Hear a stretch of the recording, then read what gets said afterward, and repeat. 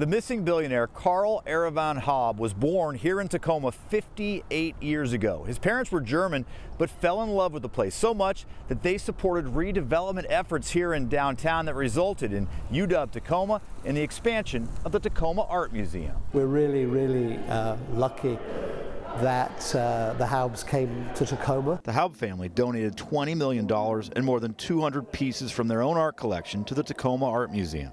There's an entire wing and gallery named after the missing man's parents, Helga and Erivan Haub.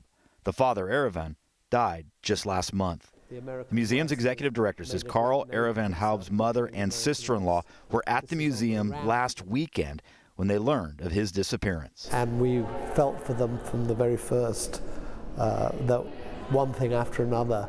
It was just a, you know, as Lillian said, surreal nightmare. Former Tacoma Mayor Marilyn Strickland, who was in office during some of the redevelopment efforts here in the downtown core area, says the Haub family was very generous to Tacoma. Her thoughts are now with the family, and she's hoping for the safe return of Karl Erivan Haub.